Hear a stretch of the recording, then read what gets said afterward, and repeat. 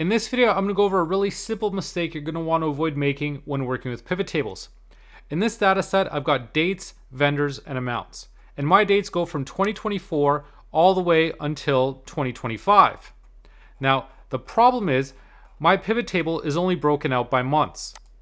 And so when I look at January, I might assume that includes values for one month. However, if I open that up to see what's in there, I can see values for both January 2024 and January 2025. This is an easy mistake to make, especially when you're updating a table and including values for a new year. If you haven't broken out by a year, you could be including amounts for multiple months. To fix this, go to your pivot table and add the years grouping so that your pivot table is separated out by month and year. You'll want to put this field above your months breakdown just to ensure you see the year and then the month.